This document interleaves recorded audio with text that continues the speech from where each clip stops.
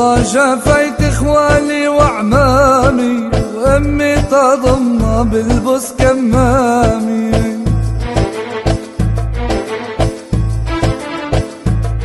ورفيقي لو عطس مرة قدامي بركض من حده مثل المجنونة.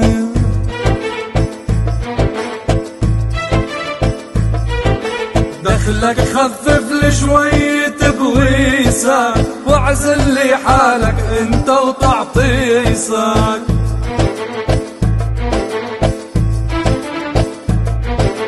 وعاتب لي نوبة تخبيصك جسمي ما بيحمل مرض كورونا